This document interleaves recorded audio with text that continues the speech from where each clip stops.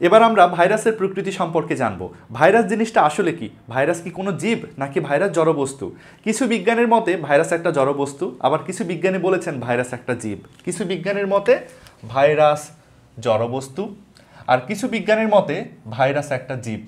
বিজ্ঞানীরা এখনও ঐক্যমতে পৌঁছাতে পারেননি যে ভাইরাস আসলে জড়বস্তু, নাকি ভাইরাস কোনো জীব। আমরা তাহলে কীভাবে সিদ্ধান্তে পৌঁছাবো? বিজ্ঞানীরা কেন ঐক্যমতে পৌঁছাতে পারেননি? প্রত্যেক দলেরই কাছে খুব শক্তিশালী কিছু যুক্তি আছে। যারা বলেছে, ভাইরাস জড়বস্তু তারাও সুন্দর কিছু যুক্তি দিয়েছে। তাদের যুক্তিগুলো অগ্রাহ্য করা যাবে না। আবার যারা বলেছে, ভাইরাস একটা জীব তাদেরও সুন্দর সুন্দর যুক্তি আছে। মোট কথায় কোনো বিজ্ঞানী নিজের জায়গা থেকে সরে যেতে রাজি না।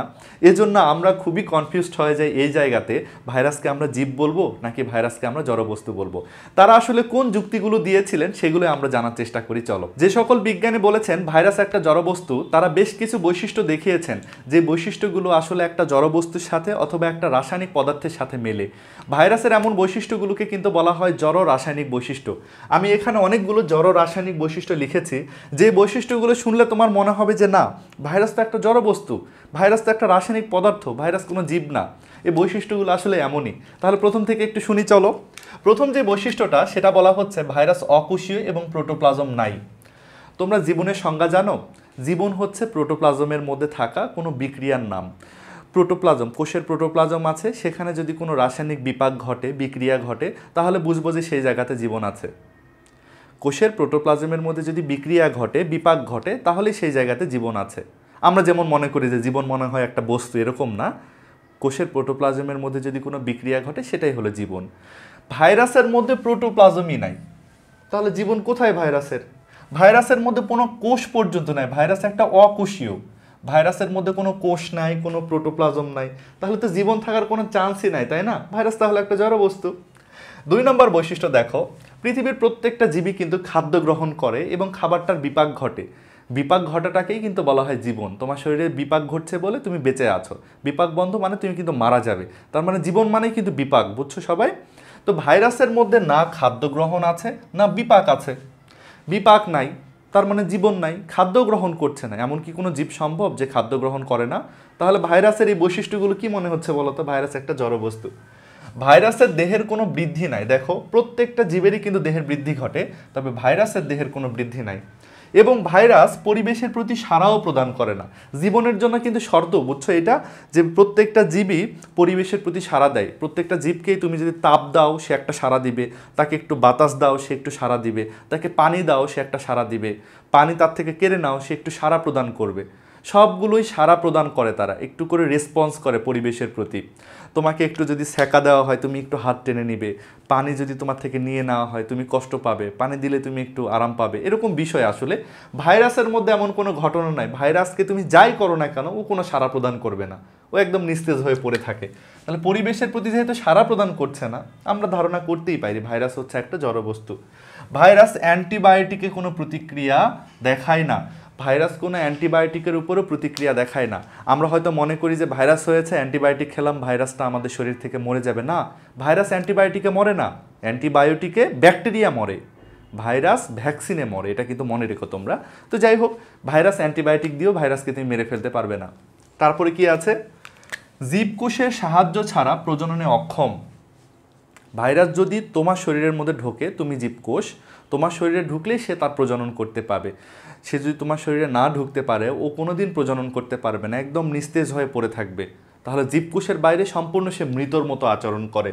দেখো, জীবকোষের বাইরে সম্পূর্ণ নিষ্ক্রিয় মানে ওর কোনো বিক্রিয়া বিক্রিয়া থাকে না, একদম নিষ্ক্রিয় থাকে। দুটা কথায় মোটামুটি সিমিলার সাত নম্বর বৈশিষ্ট্যটা দেখো, ক্যালাসন, ব্যাপন সেন্ট্রিফিউজ সাসপেনশন এগুলো করা যায়। আমি বললাম না যে ভাইরাস একটা রাসায়নিক পদার্থের মতো আচরণ করে, কোনো জীবের মতো না। দেখো কেলাসন করা, ব্যাপন করা, সেন্ট্রিফিউজ করা, সাসপেনশন করা, এগুলা কিন্তু কোনো রাসায়নিক পদার্থের বৈশিষ্ট্য। এগুলো ভাইরাসের মধ্যে দেখা যাচ্ছে। মানুষকে কিন্তু সেন্ট্রিফিউজ করা যাবে না। মানুষকে কিন্তু ব্যাপন করা যাবে না। ব্যাপন তো বোঝো তোমরা, হুদাই ঘোরাফেরা করা, এটা ব্যাপন। মানুষকে ছেড়ে দিলে মানুষ এমনি এমনি চলাফেরা করে বেড়াবে না। মানুষ ব্যাপন করে না। ভাইরাস ব্যাপন করছে একটা রাসায়নিক পদার্থের মতো আচরণ করছে। ভাইরাসকে ব্যাকটেরিয়া রোধক ফিল্টারে ছাকন হয় না। মানে ভাইরাস এত ক্ষুদ্র, ব্যাকটেরিয়াকে ছাকা যায়, এমন ফিল্টারও কোনোদিন ভাইরাসকে ছাকা সম্ভব না। তাহলে ভাইরাসের মধ্যে জীবের কোনো বৈশিষ্ট্যই আমরা দেখছি না। এগুলো শুনে মনে হচ্ছে যে ভাইরাস একটা জড়বস্তু তারপরে দেখো এসিড ক্ষার, লবণ প্রতিরোধে সক্ষম। ভাইরাস একটা রাসায়নিক পদার্থের মতো আচরণ করছে, দেখো। এসিডের প্রতি সংবেদন দেখাচ্ছে, ক্ষারের প্রতি সংবেদন দেখাচ্ছে, লবণের প্রতি সংবেদন দেখাচ্ছে। কিন্তু পরিবেশের প্রতি সাড়া দেয় না, দেখো। রাসায়নিক পদার্থের মতো আচরণ করছে। নিউক্লিক অ্যাসিড ও প্রোটিনের সমাহার। ভাইরাসের মধ্যে জীবন নাই, জাস্ট কি আছে বলতো নিউক্লিক অ্যাসিড আছে আর প্রোটিন আছে। ছোট্ট একটা প্রোটিনের টুকরাকে তুমি কি জীবন বলতে পারবে? না। ভাইরাস তো একটা জাস্ট প্রোটিনের টুকরা। এই জন্য ভাইরাসকে জীবন বলা কিন্তু খুবই টাফ ভাইরাসকে কিন্তু জড়বস্তু বা রাসায়নিক পদার্থের মতো আমরা বৈশিষ্ট্য দেখছি ভাইরাসের ভেতরে। আবার যে সকল বিজ্ঞানী বলেছেন, ভাইরাস একটা জীব, তারা ভাইরাসের বেশ কিছু বৈশিষ্ট্য দেখিয়েছেন, যে বৈশিষ্ট্যগুলো অনেকটা জীবের সাথে মিলে যায়। এই বৈশিষ্ট্যগুলোকে বলা হয় ভাইরাসের জীবীয় বৈশিষ্ট্য। আমি অনেকগুলো ভাইরাসের জীবীয় বৈশিষ্ট্য লিখেছি। এই বৈশিষ্ট্যগুলোকে দেখলে তোমার মনে হবে যে, না, আসলে ভাইরাস তো একটা জীব। ভাইরাসের সঙ্গে তো জীবের অনেক বেশি মিল। এই পাশে এসে কিন্তু মনে হচ্ছিল যে ভাইরাস একটা জড় বস্তু। কিন্তু এই বৈশিষ্ট্যগুলো দেখলে তোমার মনে হবে যে না, ভাইরাস তো আসলে একটা জীব। দেখো বৈশিষ্ট্যগুলো কি বলছে? প্রথম বৈশিষ্ট্য বলা হচ্ছে বা পোষকের অভ্যন্তরে ভাইরাস বংশ বিস্তার করে। দেখো বংশ বিস্তার করা বা বাচ্চা কাচ্চা উৎপাদন করা, নিজেদের সংখ্যা বৃদ্ধি করা, এটা তো কোনো জড়বস্তুর বৈশিষ্ট্য হতে পারে না। তোমার ঘরের মধ্যে দুইটা চেয়ার আছে, এই চেয়ারগুলো তো আর বংশ বিস্তার করে তিনটা চেয়ার উৎপাদন করতে পারবে না, তাই না? বংশ বিস্তার করা অবশ্যই একটা জীবের বৈশিষ্ট্য। ভাইরাস যেহেতু বংশ বিস্তার করতে পারছে, তাহলে ভাইরাস অবশ্যই একটা জীব। সুন্দর একটা লজিক দেখো। তারপরে বলা হচ্ছে, প্রত্যেকটা জীবের মধ্যেই কিন্তু ডিএনএ অথবা আরএনএ থাকে। ডিএনএ অথবা আরএনএ ছাড়া কিন্তু পৃথিবীর কোনো জীব সম্ভব না। ভাইরাসের মধ্যেও ডিএনএ, আরএনএ পাওয়া যাচ্ছে। তাহলে কি প্রমাণ হচ্ছে বলতো? ভাইরাস নিশ্চয়ই একটা জীব। প্রত্যেকটা জীবই তার অনুরূপ বংশধর তৈরি করতে পারে। এটা কিন্তু জীবের সংজ্ঞা। প্রত্যেকটা জীবই তার অনুরূপ বংশধর তৈরি করতে পারে। আমি আমার মতো একটা মানুষ তৈরি করতে পারব। তুমি তোমার মতো একটা মানুষ তৈরি করতে পারবে। প্রত্যেকটা জীবই তার মতো একটা বংশধর সে স্থাপন করে যেতে পারে পৃথিবীতে। ভাইরাসও ঠিক তেমনই অনুরূপ ভাইরাস তৈরি করতে পারে। তাহলে এটা কি প্রমাণ করছে? ভাইরাস নিশ্চয় একটা জীব। ভাইরাস কি করে? মিউটেশন করে। মিউটেশন করে বা পরিবৃত্তি করে। মিউটেশন বা পরিবৃত্তি যে জিনিসটা তোমরা বোঝো না, একটু সংক্ষেপে বোঝো। আমাদের ডিএনএ থাকে। সেই ডিএনএর অল্প একটু পরিবর্তনকেই বলা হয় কিন্তু মিউটেশন। আমাদের ডিএনএর কিছু তথ্যের পরিবর্তনকে বলা হয় মিউটেশন। মিউটেশন অবশ্যই একটা জীবের বৈশিষ্ট্য। জীবেরাই সাধারণত মিউটেশন করে। ভাইরাসের মধ্যে যেহেতু ডিএনএর পরিবর্তন দেখতে পাচ্ছি আমরা, মিউটেশন দেখতে পাচ্ছি, বোঝাই যায় তাহলে ভাইরাস একটা জীব। ভাইরাসের মধ্যে প্রকরণ বা ভ্যারিয়েশন আছে। ভাইরাস প্রকরণ বা ভ্যারিয়েশন তৈরি করতে পারে। প্রকরণ বা ভ্যারিয়েশন কিন্তু জীবের বৈশিষ্ট্য। এটা জীবেরা কিন্তু অনিচ্ছাকৃতভাবেই করে টিকে থাকার স্বার্থে। যেমন তোমার বাড়িতে দেখবে যে তোমরা তিন ভাই বোন যদি হও বা তিন ভাই যদি হও তোমরা, তিন ভাই তিন রকম দেখতে, সবাই কিন্তু একরকম দেখতে না। একই বাবা মার সন্তান, কিন্তু তিনজন তিন রকম। এই জিনিসটাকে কিন্তু বলা হয় প্রকরণ বা ভ্যারিয়েশন ভ্যারিয়েশন থাকলে কি হবে?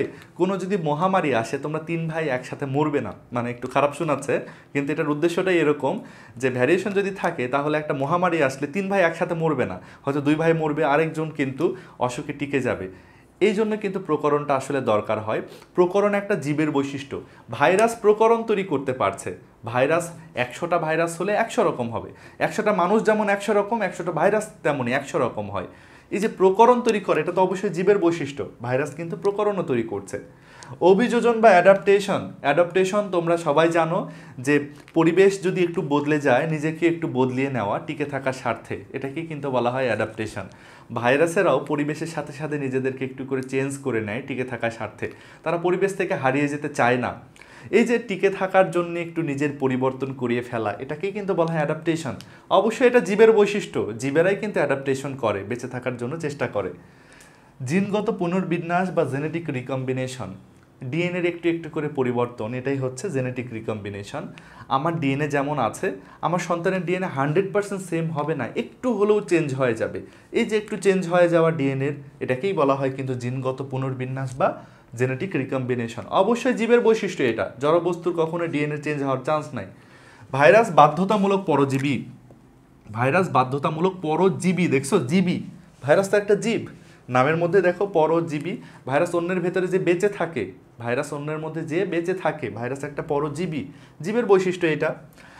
পোষক দেহে সম্পূর্ণ সক্রিয়। একটা জিনিস মনে রেখো, ভাইরাস যখন পোষক দেহের বাইরে থাকবে, তখন সে একদমই নিষ্ক্রিয়। যখন পোষক দেহের ভেতরে ঢুকবে, সম্পূর্ণ জীবনের, জীবিতর মতো আচরণ করে। এখন অনেকে বলবে যে, স্যার, পোষক দেহ বুঝি না। ভাইরাস যেই দেহের মধ্যে থাকবে সেটাই তার পোষক দেহ। যেমন করোনা ভাইরাস তোমার শ্বাসনালীর কিছু কোষের মধ্যে এসে থাকে, তাহলে তোমার শ্বাসনালীর ওই কোষটাই হলো করোনা ভাইরাসের জন্য পোষক দেহ। একটা করোনা ভাইরাস টেবিলের উপরে পড়ে আছে, ও টেবিলের উপরেই পড়ে থাকবে।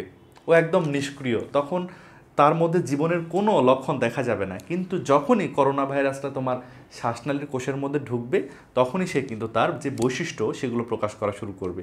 একটা এইচ আইভির জন্য পোষক দেহ হচ্ছে আমাদের শ্বেত রক্তকণিকা একটা এইচ আইভি পরিবেশে পড়ে আছে এইচ আইভি একদম নিষ্ক্রিয়। কিন্তু এই সাইবিটা যখনই তোমার শ্বেত রক্তকণিকার মধ্যে ঢুকবে, তখনই এই সাইবি তার বৈশিষ্ট্যগুলো প্রকাশ করা শুরু করবে। তাহলে লক্ষ্য করো, কেন ভাইরাসকে জীব নাকি জড়বস্তু এক কথায় বলা যায় না? খুবই কনফিউজিং বিষয়, তাই না? কনফিউজড হয়ে একজন বিজ্ঞানী খুব সুন্দর একটা কথা বলেছে। তোমাদের মজা লাগবে, দেখো।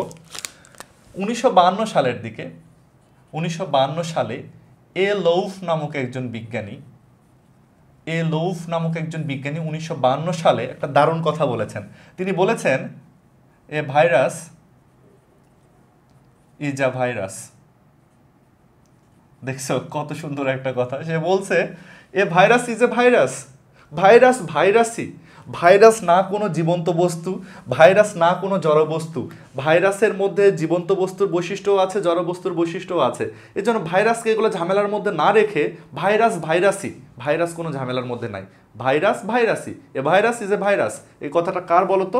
এ লৌফ নামক একজন বিজ্ঞানীর। দেখো, উনিশশো বাষট্টি সালের দিকে, উনিশশো বাষট্টি সালের দিকে দুইজন বিজ্ঞানী, স্ট্যানলি এবং আরেকজন বিজ্ঞানীর নাম হলো ভ্যালেন্স।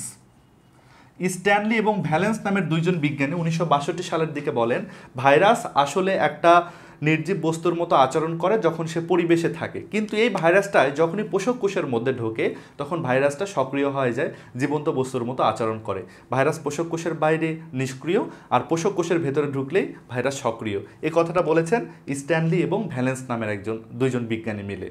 উনিশশো চুয়াত্তর সালে, উনিশশো চুয়াত্তর সালে স্যালি নামক একজন বিজ্ঞানী বলেন ভাইরাসের মধ্যে জড় রাসায়নিক বস্তুর মতো নানান বৈশিষ্ট্য বিদ্যমান, ভাইরাসের মধ্যে জীবীয় অনেক বৈশিষ্ট্য বিদ্যমান। এজন্য ভাইরাস হচ্ছে জীব এবং জ্বরের মধ্যবর্তী কোনো বস্তু। ভাইরাস হচ্ছে জীব এবং জ্বরের মধ্যবর্তী বস্তু। অর্থাৎ ভাইরাস হচ্ছে জীব এবং জ্বরের মধ্যবর্তী কিছু। কিছু কিছু বিজ্ঞানী বলেছেন ভাইরাস হচ্ছে জীবন্ত বস্তু এবং জড়বস্তু সেতু। তাহলে ভাইরাস হচ্ছে জীব এবং জ্বরে জড়বস্তুর সেতু। এই কথাটাও কিন্তু বলা হয়েছে। এই কথাগুলো কিন্তু তোমাদের ক্ষমার্কের জন্য খুবই গুরুত্বপূর্ণ।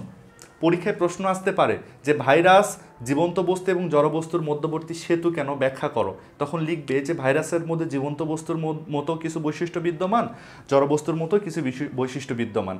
দু ধরনের বৈশিষ্ট্য ভাইরাসের মধ্যে আছে। এজন্য ভাইরাসকে বলা যেতে পারে জীব এবং জড়বস্তুর মধ্যবর্তী সেতু। মধ্যবর্তী সত্তাও বলা হতে পারে। যে কোনো কথায় যদি আসে, তুমি একটু বুঝে উত্তর দিও। এটা যদি বড় প্রশ্ন আসে, ঘ মার্কের যদি প্রশ্ন আসে যে, ভাইরাস জীব এবং জ্বরের মধ্যবর্তী সেতু কেন ব্যাখ্যা করো? তখন তুমি যেটা করবে, ভাইরাসের জীবীয় বৈশিষ্ট্য হিসেবে এই কয়টা বৈশিষ্ট্য লিখবে, ভাইরাসের জড় ও রাসায়নিক বৈশিষ্ট্য হিসেবে এই কয়টা বৈশিষ্ট্য লিখবে, লিখে শেষে মতামত দিয়ে দিবে যে উপরে আলোচনা থেকে আমরা দেখতে পেলাম ভাইরাসের মধ্যে জীবন্ত বস্তুর মতো এবং জড় বস্তুর মতো। দু ধরনের বৈশিষ্ট্যই বিদ্যমান, এজন্য ভাইরাসকে বলা যেতে পারে জীব এবং জ্বরের মধ্যবর্তী সেতু।